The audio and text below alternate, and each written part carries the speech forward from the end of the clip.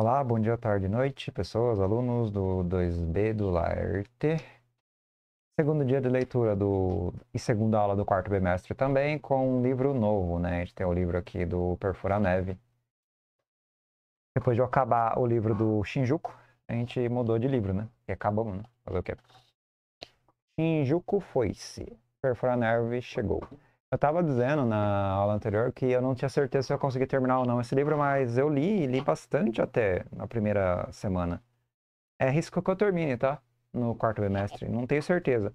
Se eu forçar a barra um pouco e ler um pouquinho a mais na, na parte de desdobramento, que é a parte secundária da aula, é certeza que eu termino. Mas eu não sei, vou pensar no caso. Vamos ler hoje, a gente vê até onde vai e faz um bem bolado aí para ir meio mais rápido, ao mesmo tempo que não tão rápido, porque se eu terminar o livro eu, não vou, eu vou ter que abrir um outro livro, um terceiro livro, e isso seria um problema. O ideal seria que eu terminasse, que é um pouco utópico, mas se eu terminasse esse livro exatamente junto da, do final do quarto bimestre, né? Um negócio bem bolado no extremo, né? Mas não sei ainda, né? Então a gente estava aqui na página 35, 36. Eu lembro que a gente estava na, 30, é, na 36 mesmo em um conflito aqui com um cara do vagão de hortaliças, né? Um cara escrotão que tentou estuprar a garota aqui do, do, Eu não lembro o nome, mas a garota aqui do protagonista da obra, né? E o maldito aqui, o cara da agricultura, né, fala: Ah, desgraçado, não consigo nem andar mais. E se eu nunca mais ficar de pau duro? Porque ele levou um chute no saco, né, do, do cara do o refugiado, do refugiado. Para com isso, vai me fazer chorar, falam os guardas. Bom, vamos, fala outro guarda. Vocês dois aí, de pé. Tudo bem, espere, eu vou te ajudar, fala a moça ajudando o refugiado. Que tá se levantando depois de levar uma porrada na nuca, né? Vamos, de volta ao caminho. E se fizer cagada. E sem fazer cagada, e sem fazer cagada, senão. Ei, um minuto fala o cara da, do cultivo aqui das ervas. Vocês não vão escapar assim. Tem que fazer um relatório. Eu sou responsável pelas plantações. Se tiver algum prejuízo, sou eu que rodo. Vocês sabem quanto cuidado tem que ter para fazer crescer tudo isso? Nem a pau que eu vou pagar os vasos que os fundistas, que um fundista, fundista no sentido de um vagão, lá dentre os mil e um vagões, um dos últimos vagões, né? ou o último talvez, que um fundista escroto quebrou? Ouviu, seu pilantra? Você não vai sair assim. É, aí o guarda, bom, vamos. Que merda. Vai agora, já deu. Né, o guarda empurrando a galera, bom. Depois a gente faz relatório, ou fizer relatório, não sei como é que ficou. Aí mostra já na, na página seguinte, que é onde eu tinha parado mesmo. 37. Haha, um dos guardas ri. Esse cara eu achei que ele não ia deixar a gente ir embora nunca mais. Não é, sargento? Ahá, sargento. Aí o fundista. Ele teve sorte. Se eu estivesse com as mãos livres, fala o fundista. Ou o refugiado. Aí ele continua. Falando em mãos livres, você gosta de tomates frescos? Pergunta ele pra garota. Sim, mas é claro que sim, mas e ele fala: Você pode pegar discretamente esse que eu tô levando aqui atrás e o outro que está enfiado na minha manga. Ele roubou os tomates do, do vagão de, de hortaliças. Não, eu não acredito. Psst. Você surrupiou uns tomates dele? e ela, né? Ela ri. Enquanto ele me chamava de pilantra, a gente se vinga como dá. Vamos, temos que comer enquanto eles ainda estão frescos. Tem um monte de vitaminas. Aí ela morde, ele morde também o tomate, eles vão comendo ali enquanto andam, né? Os guardas meio que não ligam, parece. Ela fala: Eu queria te dizer que eu sinto muito por ontem, fala ela. Sente muito por quê? O que aconteceu ontem? É, pergunta é, o refugiado, né? E ela fala: Ah, bom, quando rasparam a minha cabeça, pode parecer bobagem, mas eu te odiei. Por quê? Porque eu não banquei o herói como você queria que eu tivesse feito? Pergunta o fundista. Talvez, não sei. Você não fez nada para me proteger. Por isso eu te odiei e fechei a cara. E fechei a cara para você. É uma idiotice. Você não poderia fazer nada. E o fundista fala, ou refugiado, tudo bem. E se a gente falasse de outra coisa agora? Me conte se a gente ainda tem, ainda tem não. Me conte se a gente ainda vai andar muito tempo desse jeito. Ainda está muito longe? pergunta ele. E ela, não sei exatamente. Nunca fui até lá na ponta. Não brinca. Você nunca teve a vontade de atravessar o comboio inteiro? Curiosidade de ir até as máquinas? De ver os vagões dourados? Não foi por falta de vontade. Infelizmente, a gente não circula com tanta facilidade assim no Perfura-Neve.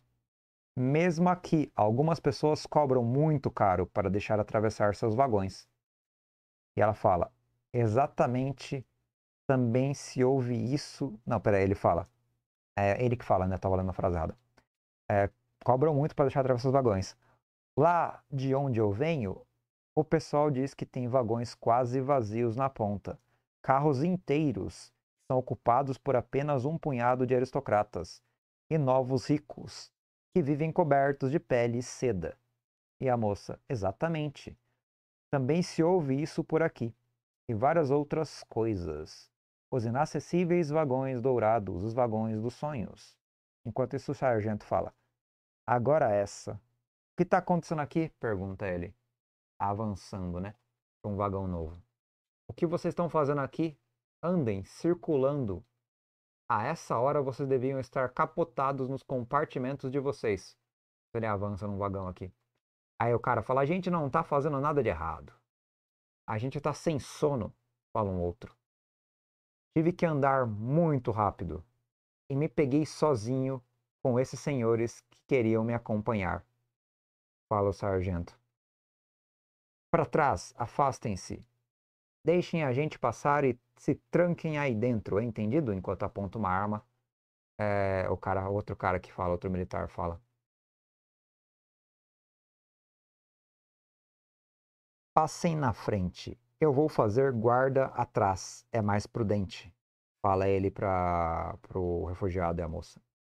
Desconfiado, esse sargento fala o refugiado. Os corredores não são muito seguros. Dizem que à noite o número de agressor, agressões dobrou nos últimos tempos. Fala a moça. Tudo bem, parece que eles desistiram. Fala o militar. Sargento, talvez. É tudo aparência meio próximo, então não sei de quem é quem. Alguns eu sei quem é, outros eu não sei. Eles continuam avançando lentamente pelos vagões. Os dois soldados, três na verdade, dois na frente, o a, refugiado e a moça no meio, e um último soldado atrás. Eles vão andando, andando, andando, aí sargento, gritão deles, enquanto leva uma garrafada na nuca. Fuck! Ele larga a arma e cai no chão, nocauteado. Os caras do vagão anterior nocautearam o cara de trás da retaguarda. E pegam a arma. O sargento, ele, junto com os outros, eles pegam, tem uma arma, tem uma metralhadora, começa a meter bala uh, nas pessoas que nocautearam o soldado dele. Pare, já basta. Não precisa alertar todo o comboio. Melhor tentar reanimar o Dalevesky. Eles protegem o cara que estava nocauteado ali. Eu acho. E falam: é o fuzil que eles queriam. As armas. O que ele está falando? Pergunta pro cara que está nocauteado aqui na frente. É um outro, na verdade, né? Não sei. O que vocês vão fazer com ele? Ele está perdendo muito sangue. E um civil aqui, é uma cena bem estranha. Eles estavam esnucados entre uma saída é... e os caras que estavam tentando pegar as armas, né? Eles meteram bala nos caras que estavam tentando roubar as, as, armas, né? E, e, aí mataram um dos caras que estavam roubando o fuzil e tal. É, ele foi baleado enquanto os outros que queriam as armas é, meio que recuaram, né? Então, nisso eles defendem o perímetro e tem o cara que estava roubando aqui a arma e nocauteou um dos soldados, enquanto os outros fizeram cobertura, meteram bala mesmo. É, e aí esse cara tá sangrando, né? Esse cara que era um ladrão, né? Aí ele falou: é o fuzil que eles queriam, as armas. E o que, que ele tá falando? Pergunto pra moça, né? E ela: não sei. O que vocês vão fazer com ele? Ele está perdendo muito sangue. Está fora de cogitação arrastá-lo com a gente. Não temos o necessário para cuidar dele. Ele só atrapalharia. A única solução é deixá-lo aí. Seus amigos vão procurar por ele, ou então alguém vai avisar o controlador da área. Bom, vamos de volta ao caminho. Vamos continuar, fala o sargento. E le levanta o cara que foi nocauteado, o, policial, o militar que foi nocauteado, e vai os três militares andando para frente ainda, depois dessa, desse atentado enquanto eles andavam em direção a, a outros compartimentos do, do trem, né? De todo jeito, esse idiota teve o que merecia. Tudo bem, Dalevitsky? Tudo bem, tudo bem. Dalevitsky é o cara que foi levado, levou a garrafada na nuca. Ué, não tem luz aqui? Você tem uma lanterna, sargento? Para mim, isso tem toda a cara de ser um vagão-restaurante, Martin. Delevsky, cuidado com os prisioneiros. Não deixe que eles aproveitem a escuridão para. Não se dê ao trabalho, sargento. Eu não teria como me salvar. Fala o grande refugiado aqui. Calha a boca e continue andando. Ei, ei, fala o sargento. Parece que aqui é um pedaço movimentado. E daí falam dos habitantes do vagão, né? Bom, acho que mais para frente tem luz de novo. Agora está. Agora essa, fechado. A porta está fechada, né? A porta do vagão da frente. Lembrando que esse vagão noturno aqui é um vagão sem luz, é um vagão aparentemente de talvez uma, algum relacionamento afetivo sexual, não sei. É, não entendi certo, mas pode ser uma possibilidade. Não mostra nada, nem nada, não é muito insinuador nem nada o capítulo, ou a página, mas enfim. Aí o sargento olha assim: não tem ninguém e nem dá para passar. Que bizarro. Deveria ter um sentinela aí. A princípio, né? Sempre tem alguém de guarda na casa de carnes. Casa de carnes? Perguntam os soldados.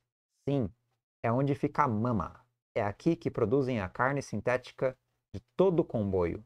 Conheço a área. Já fiz guarda aqui. À noite eles trancam por causa do pessoal que fica vagando pelos corredores. Um controlador poderia abrir aqui pra gente. Fala o sargento. A essa hora? Um dos soldados. Vamos discutir isso em outro lugar. A gente está congelando aqui. O terceiro soldado.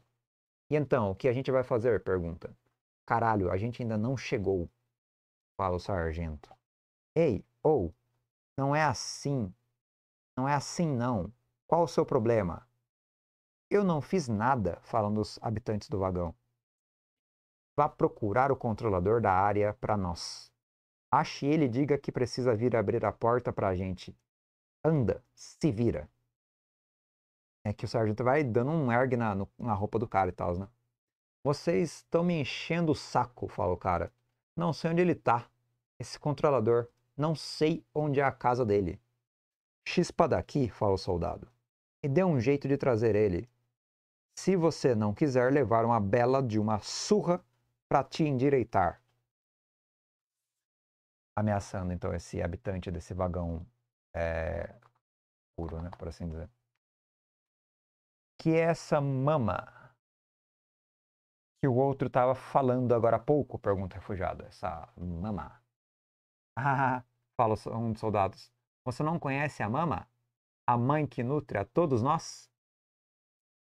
É uma imensa massa de carne que fica fervendo num líquido especial que é o que a alimenta, de alguma maneira. A mama consiste em uma fonte inesgotável de carne, porque quanto mais você corta e tira de dentro dela, mais ela cresce. Na verdade, é assim que ela se reproduz. E aí? Ainda não tem ninguém lá? É, depois ele contar isso, tem um soldado falando com outro. E aí, ainda não tem ninguém lá? Não. O cara que vocês mandaram para buscar o controlador ainda não voltou. E o outro soldado completa: Não. Estou, como se diz, com a impressão de que a gente vai passar a noite aqui. Não é, sargento? E o sargento meio desnorteado, todo mundo meio cansado, né? acabam meio que passando a noite ali, parece. Atravessando o gelo e a desolação, corre o trem. sem destino ou estação.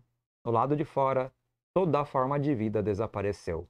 Não há mais a terra que um dia se prometeu. Sargento, ei, sargento, pronto, a gente pode passar. E o sargento capotado aqui. Uh, o sargento acorda. O bar também acabou de abrir. Dá tempo de pegar um café, fala um soldado. Tudo bem, mais rápido. Pega para mim também, fala o refugiado. O senhor, me desculpe, sargento, mas não é muito fácil beber com as mãos algemadas nas costas. Ele fala isso enquanto. É, bem. Vocês poderiam tirar as algemas, pelo menos, enquanto ele engole este café? pergunta a moça. Sinto muito, estamos com pressa. Não quero correr riscos, então só tem você para tomar conta dele. Bom, e agora? Prontos? E de fato a moça dá café na boca do refugiado que está com as mãos presas. Né? E eles avançam o vagão que estava trancado. Na verdade, desta vez está aberto. Espero que os que estavam de guarda aqui esta noite tenham bons motivos para justificar a ausência. Ou a coisa vai ficar feia pro lado deles, fala o sargento. Ei, vocês aí, venham aqui um pouco, fala ele. É, o cara vem. Era você que estava de guarda essa noite? E? Por quê? Porque onde você estava? pergunta. Nossa, que cheiro esquisito, fala o, um dos soldados. Talvez sejam os produtos que eles usam para alimentar a mama. Você quer ver a cara dela? A porta está entreaberta. Aí mostra eles cortando a carne aqui, fazendo a coleta, né? Diz aí, é, é impressionante. E parece que quando eles olham assim pela porta, né, e vê a, a coleta, né, uma fábrica de carne, parece que há uma coisa viva. O que ela? Ela rejeita o contato com a lâmina. E que ela, ela rejeita o contato com a lâmina. o que? Vocês estão bisbilhotando? É proibido para quem não trabalha aqui? Vamos, saio, saio, falou o açougueiro. Você acha que ela sente alguma coisa? Ela é capaz de sofrer? pergunta o soldado. Talvez. Vamos lá, o sargento vai gritar se não, se não vir a gente chegando. É, fala um outro soldado. E então? Aí o sargento, né? Então, olha só porque esses malandros não estavam no trabalho esta noite. Enquanto a gente esperava para passar, eles estavam no bem bom, enchendo a cara aqui com uma puta. Aí mostra uma mulher semi-desacordada, mais ou menos acordada, nocauteada ali no cantinho, aparentemente entreteu, a pessoa. E eles não cumpriram a função noturna, né? É, Vapt Chip. Sabia que tinha um cheiro esquisito. O que é? pergunta o refugiado. Some com isso da minha frente, fala o sargento. E aí os caras dão uns erg nos soldados lá, soldados incapazes de, de abrir a porta antes, né? O Vaptchit, na verdade, é igual a Vapo, Vapoclean, um tipo de desinfetante de privadas. Tem gente que cheira isso assim ou num algodão embebido. Tem até gente que espirra nas narinas. Dá um puta barato, mas não pode abusar. Parece que só amolece o cérebro. Então eles têm aqui um narcótico, né? Ele explicando pro refugiado que eles estavam usando um narcótico enquanto se divertiam com a garota aqui, né? E eles continuam andando, né? A narrativa vai em frente. O outro eu conheço um pouco a gente estava no mesmo compartimento depois do embarque. Não é uma pessoa. Você vai fazer um relatório? Pergunta é, para o sargento. Vai depender dos ânimos do QG. Se me fizerem perguntas, vou dizer a verdade. Não quero me ferrar por causa deles. O que eles estão esperando para continuar? Lá na frente, Martin, vá ver, vá ver é que ele, é ele, ele queria que a gente soltasse as algemas para ir mijar. Por isso que eles estavam lá, né, enrolando, né? É, esperando para continuar, né? Estavam é, enrolando. Ele quer mijar e tal, quer soltar algemas. Você não ouviu o sargento agora mesmo? Ele disse que não devemos correr riscos. Você pode pedir para sua namoradinha te ajudar. Se bobear, isso é o que ela mais quer. É, é o cara, né? Haha, todo mundo começa a rir. Vem, eu vou te ajudar, fala ela. Ele, o quê? Refugada. Acaba tendo que entrar no banheiro com ela e tal. E... Ô, ô, ô, abram. Abram a porra. Abram a porra. Abram, porra. Abram. Bam, bam, bam, bam. Aí os dois presos, né, dentro do, do banheiro, né? Que eles estão no banheiro, né? Um vagãozinho especial ali, eles começam a rir, né? E eles estão tirando com a nossa cara. Prolof, Below, vocês estão me ouvindo? Estou avisando, vocês vão se ferrar. Vão sair ou o quê? Porra. Então ela tá falando, enquanto isso eles dão uns pega no banheiro, enquanto eles riem da cara dos soldados. Tirando mesmo, né? Porque é, eles ficaram com um pouco de privacidade por um momento. Ah, até que enfim, hein? Saíram, né? O soldado fala. Bom, vamos lá. Já perdemos bastante tempo. Assim vamos continuar? Já perdemos bastante tempo assim. Vamos continuar. E andem logo. Eles continuam lá na cortejo dos dois, né? Que bizarro. O que está acontecendo aqui? Parece que tem cada vez mais gente. Você não acha, sargento? Hum, era isso que eu queria evitar. Pronto, não tem mais jeito de continuar. Que merda. O que está acontecendo afinal? Pergunta, pergunta um, um sargento, acho que pergunta, né? Eles ficaram presos na multidão, literalmente na multidão. Por que, que não tem mais jeito de continuar? Porque eles estão num culto. É um vagão de culto. Na verdade, meus irmãos, nós sabemos bem que sem ela nós não existiríamos mais. Ela que nos provê dos bens mais preciosos e, acima de tudo, do calor indispensável que ela venha a parar um dia, que o mecanismo sagrado que a move perpetuamente venha a falhar. Assim, o frio mortal que reina do lado de fora se insinuará para dentro de nossos vagões, de nossos compartimentos, e a morte branca irá nos paralisar por toda a eternidade sobre sua mortalha de gelo. Aí tem outros é, sacerdotes, né? Ó oh, santa locomotiva, que o seu movimento provedor de energia não se desacelere em nada. Que ele traga hoje e amanhã as benfeitorias que nos são necessárias. Santa locomotiva, fonte de vida, rodai, rodai por nós. É uma religião a Santa Locomotiva, porque eles precisam da Santa Locomotiva para sobreviver. E virou um culto aqui. E aí o sargento está preso num culto, com a galera que estava avançando lenta e gradualmente em direção aos outros vagões, né? Complexo. Vocês nunca ouviram falar dos irmãos da máquina? Pergunta um cara que é do vagão. Dos pastores mecânicos? Sim, claro, fala um soldado. Agora, meus irmãos, vamos nos recolher e concentrar nossos pensamentos na Santíssima Máquina. Enquanto isso, um outro soldado fala, talvez o sargento. Bom, não vamos esperar até eles acabarem. Isso pode durar um tempão. Vamos tentar passar discretamente com firmeza, entendido? Isso não vai ser fácil, fala um soldado. Ei, fala um dos habitantes do, do culto, né? Desculpe, com licença. Aí ele vai empurrando a galera. Ei, ei, ei. Porque não basta rezar, implorar ao céu e à santa locomotiva que nos amparem. Fala o padre, né? Vamos mobilizar nossas forças mentais, toda a energia psíquica, psíquica que ainda existe em nós. Vamos transmiti-la para a máquina. Vamos, com o pensamento, agir sobre ela sobre as engrenagens, com a finalidade de ajudá-la, de aliviar seu esforço. Com licença, pastor, mas. Fala, pastor, o que está acontecendo? Sinto ondas negativas que prejudicam nossa concentração. Ah, é um dos religiosos aqui. A concentração mental é tudo o mais e muito bonito. Mas enquanto a gente arrastar atrás desses vagões no fundo com aquela gentalha, me parece que não vai adiantar grande coisa ficar zelando, rezando para ajudar a máquina. É muito bonito, mas enquanto a gente arrastar atrás esses vagões do fundo, ele está dizendo para jogar os vagões do fundo para o inferno e matar a galera que mora lá. É isso que ele está falando.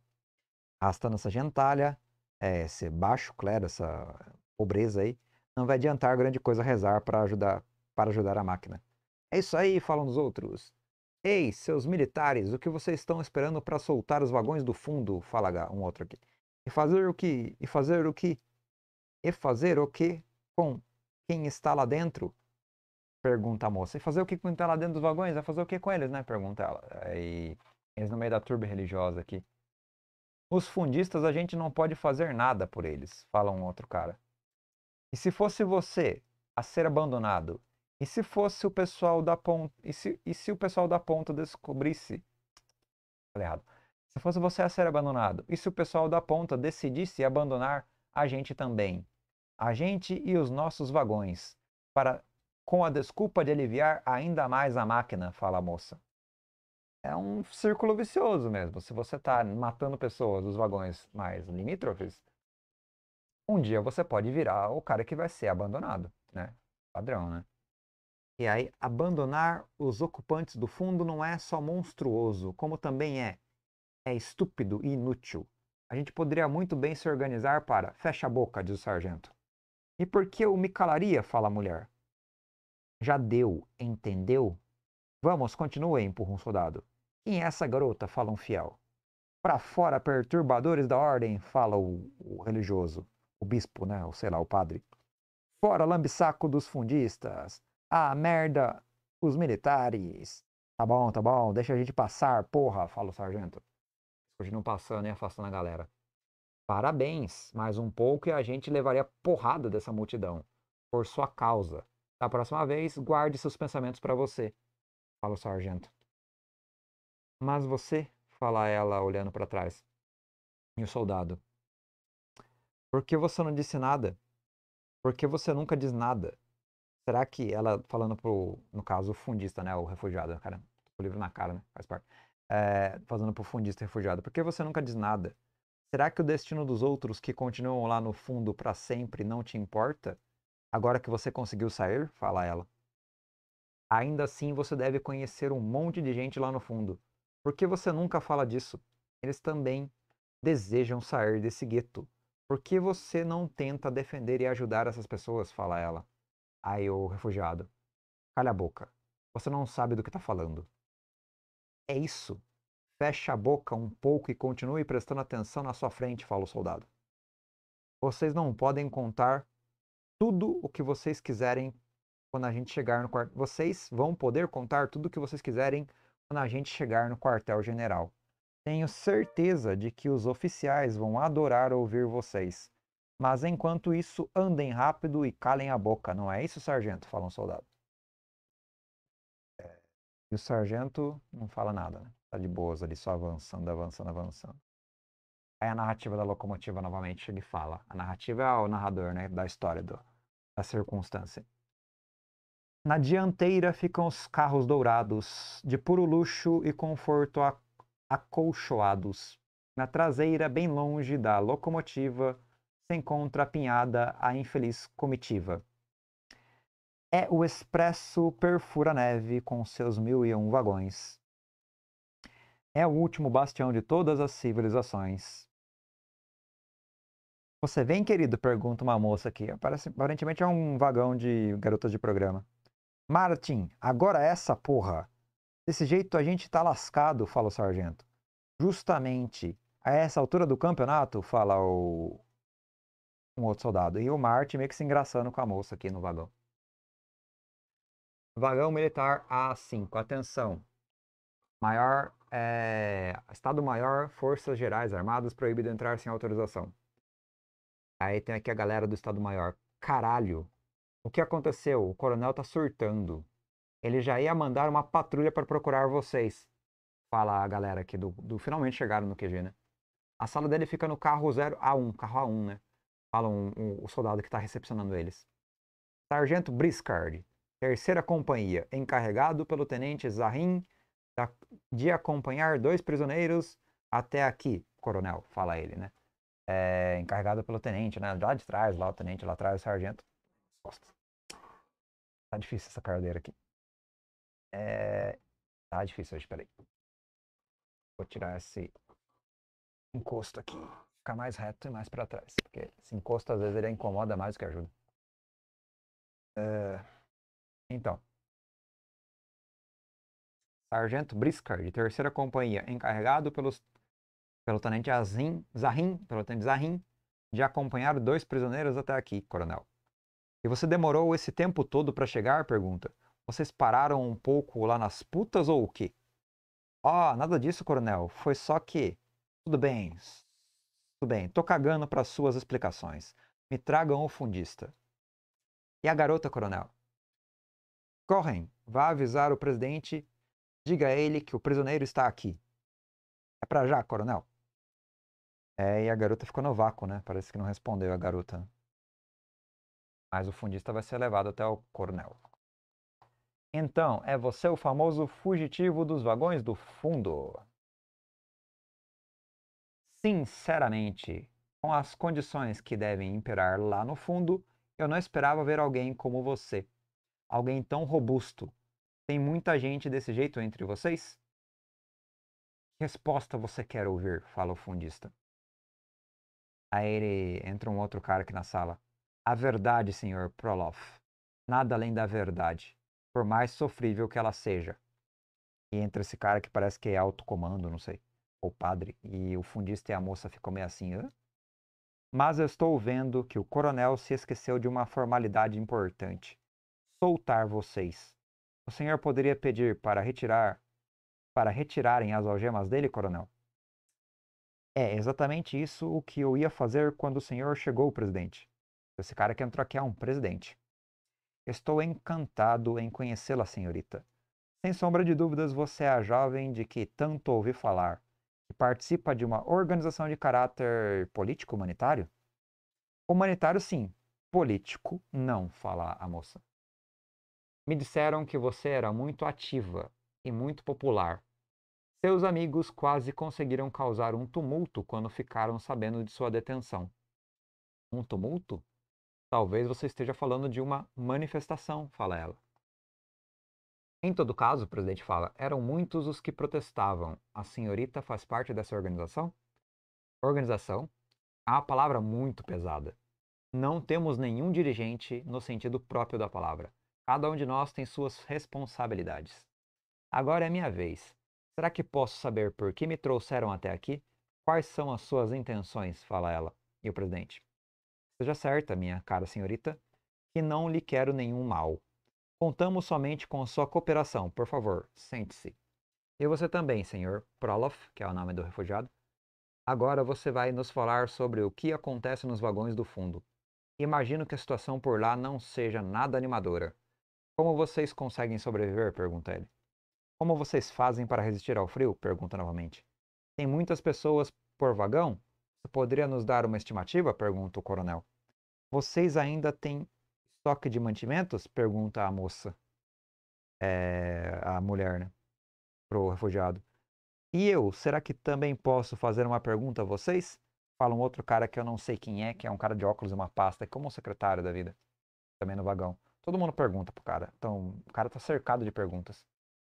E a moça continua também a, a falar, né? Eu gostaria de saber por que todo esse interesse repentino na, da parte de vocês pelas condições de vida nos vagões do fundo. Bom, fala o presidente, a resposta mais óbvia é a presença do senhor Proloff aqui.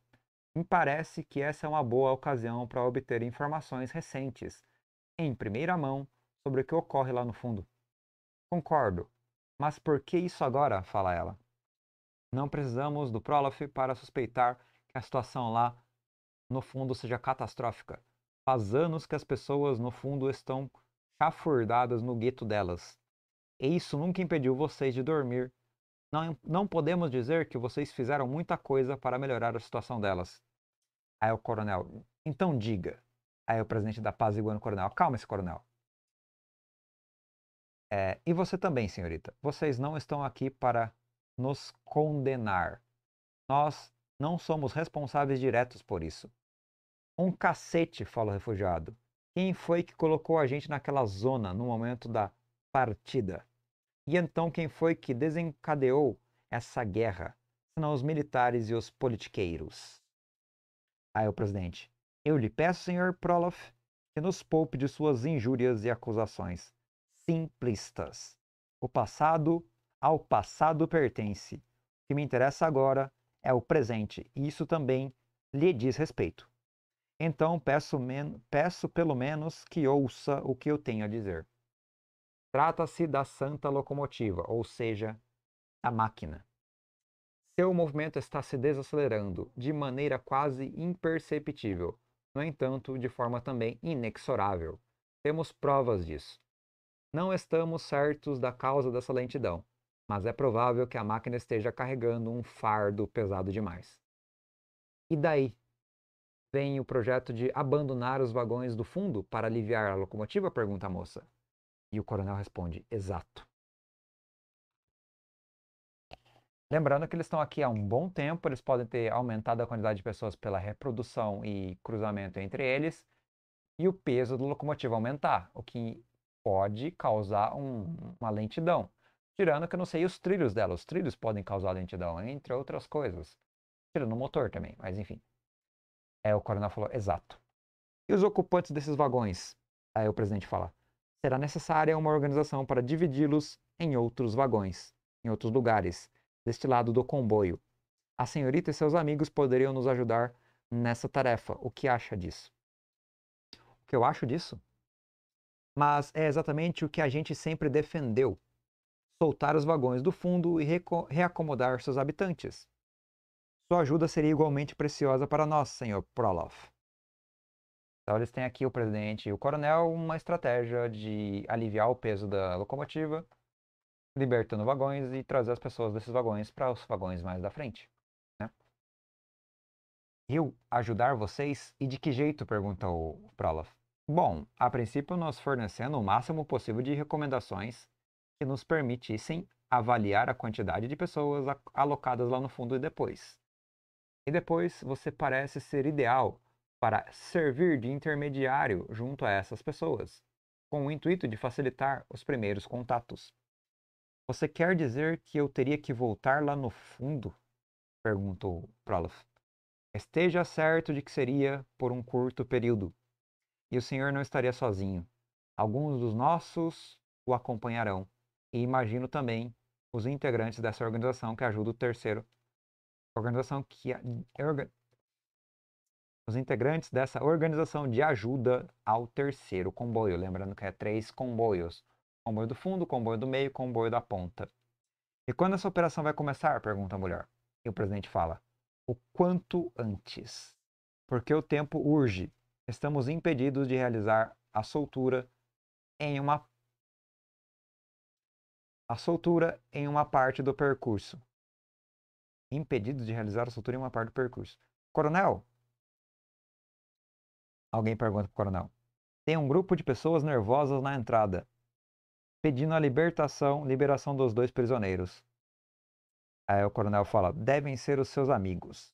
Cabe a você ir até lá, provar que vocês não estão presos e comunicar a eles as nossas intenções. Estamos prontos para dialogar com eles, falou o coronel. E o presidente: Al, enquanto isso, mostre ao Sr. Proloff seu compartimento e tome conta dele. Né? Ele foi ah, meio que abraçado, né? Vai ter um lugar para ficar por um tempo agora, né? Fim dos vagões militares. Aonde você está me levando? Até os vagões dourados? Pergunta Prolof.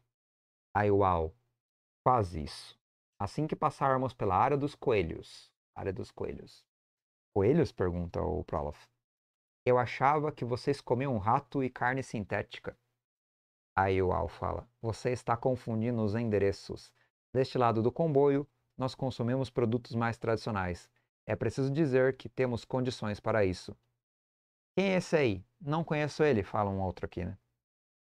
Um cara da, de um vagão, né? Do, do, dentro da, da, de uma acomodação. Aí está o dono dos coelhos, Rabinoff. Alega que, só de bater o olho, reconhece todas as milhares de almas que vivem nesta parte do comboio. Fala o Al. Ele é tipo um cara aqui, né? Um, sei lá, um tipo de chefe, né, dos co coelhos que o Al tá conversando com ele reconhece todas as milhares de almas que vivem nessa parte do comboio, né? Cara bom de olho, né, por assim dizer. As almas, as pessoas daqui não têm mais alma do que os meus coelhos, fala ele. Que almas, que almas. As pessoas desse vagão não têm mais almas do que os coelhos. Não são as almas que eu reconheço, são os rostos. E o seu eu nunca vi. Então ele tá falando pro Prolaf que ele nunca viu o rosto dele na vida. Ele não viu mesmo, porque é um cara do vagão de trás, né? O Rabinoff reina em uns quatro ou cinco vagões que abrigam milhares de bichos. Tudo é perfeitamente organizado para a criação, a alimentação deles. Ele também cria camundongos comestíveis. Então ele é tipo um pecuarista dos animais aqui desses vagões, né? Um chefe da pecuária, por assim dizer. De onde vêm os coelhos? Foi ele quem organizou tudo isso? Pergunta o refugiado. Não se esqueça de que o Perfura-Neve era um trem de lazer antes da catástrofe. Um trem de turismo onde tudo era planejado para se ter uma autonomia de, várias, de vários dias ou até várias semanas. É bem provável que ele tenha salvado nossas vidas. Só se for a sua, falou o refugiado. Me desculpe, eu já ia me esquecendo de todos aqueles que são é, desfavorecidos, todos aqueles que, como você. Ele continua, né, o refugiado. Em todo caso, os coelhos são bem cuidados? Cortou, cortou Al, né? Ele cortou Al. Sim, é principalmente por causa das coelhas. Das coelhas? perguntou o refugiado. Foi em cima delas que o Rabinoff construiu seu império. Ele é o único a possuir essa espécie em todo o comboio, o que permite que ele tenha o monopólio da reprodução e seja o dono do mercado, de todo o mercado. Nem adianta querer afanar uma fêmea, elas são muito bem guardadas. Tem aqui um maldito de um burguês, um dono de propriedade, dono de todo uh, as fêmeas, que monopoliza literalmente a carne desse ramo de alimentação. Né? Eles entram num bar aqui, num outro vagão, um bar com uns telões de pornografia né, na, ao redor né, do, do vagão.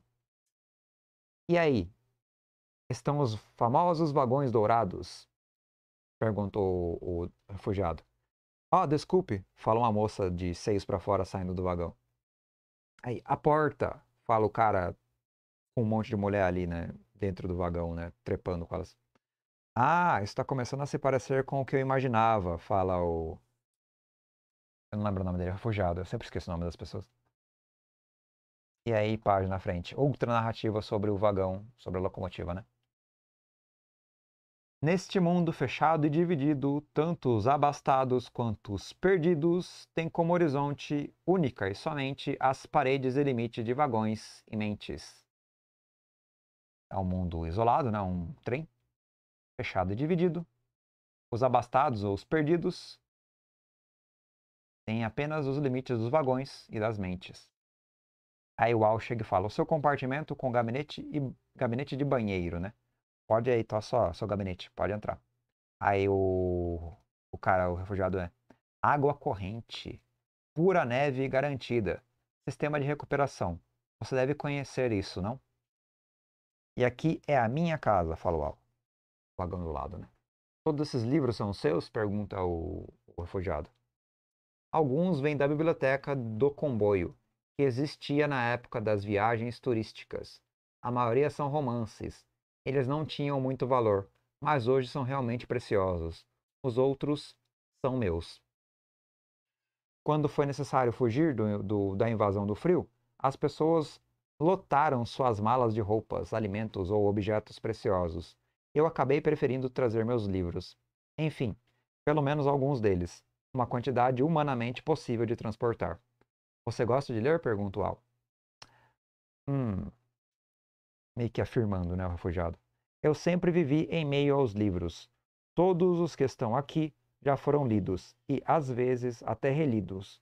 Mas eu pagaria caro para sentir mais uma vez o cheiro de um livro novo. Isso aqui ainda funciona? Pergunta o refugiado. Sim, o aparelho ainda funciona. Você quer assistir alguma coisa? Mas a maioria das coisas que tenho são vídeos de notícias, documento, documentos. Eu sou meio que um arquivista e historiador do Perfura Neve. Sabe? Fala o Al, né? Tipo um. Um cara do museu, né? Alguma coisa assim. É... Aí ele mostra um vídeo aqui pro refugiado. Viva uma aventura inesquecível. Faça uma viagem a bordo do Perfura Neve, uma propaganda, né? 20 dias sem escala, em um trem altamente luxuoso que faz um circuito especial. Reuni aqui, falou Al, tudo o que consegui encontrar: jornais, revistas e anúncios publicitários sobre, a, sobre o Perfura Neve, sobre sua inauguração, no final dos bons tempos, pouco antes da confusão toda. E a TV continua, né? Paisagens extraordinárias, conforto inigualável. E aí o Al lê, né? Uma máquina revolucionária no jornal. enquanto a narradora continua narrando as histórias do Perfura-Neve. Uma equipe de bordo acolhedora e altamente qualificada, sempre pronta a satisfazer até os seus menores desejos. Implica que o Perfura-Neve também é um prostíbulo. E aí o Al fala, e depois também tem anotações, páginas e mais páginas de anotações.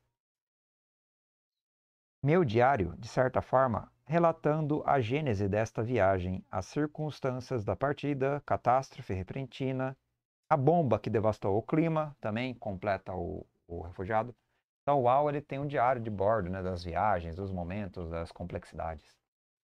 Nunca soubemos com certeza o que causou desordem, fala o Al. E o refugiado, não brinca. Ainda assim, é estranho que isso tenha acontecido bem no momento em que explodiu a guerra. Não? A menos que se encare isso como uma manifestação da justiça divina.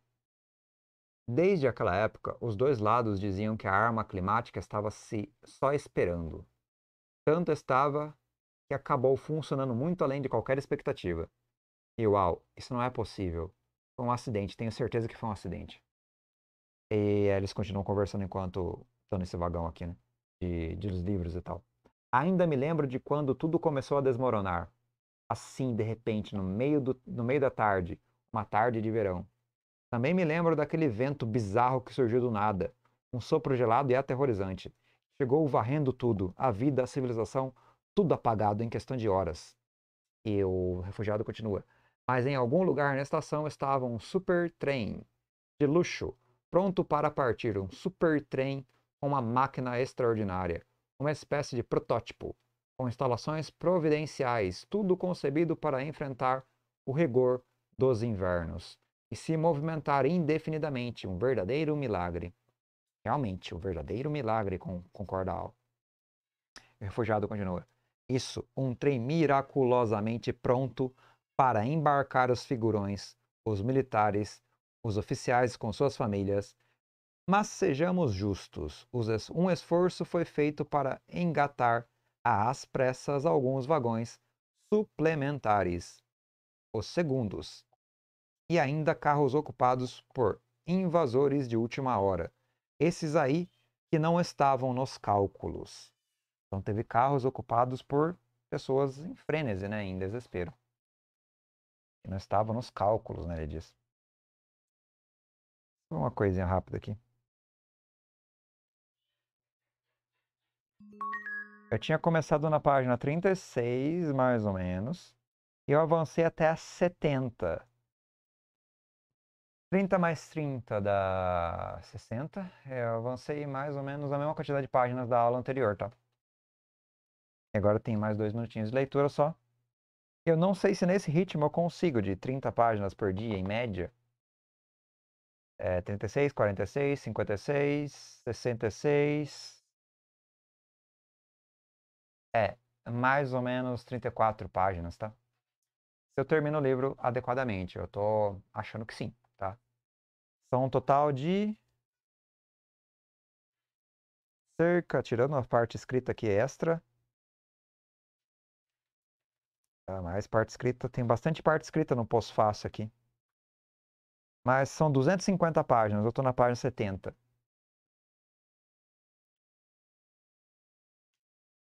Divide aí então 250 mais o pós-fácil, né, que é um extra, por dias. 250 dividido por 30.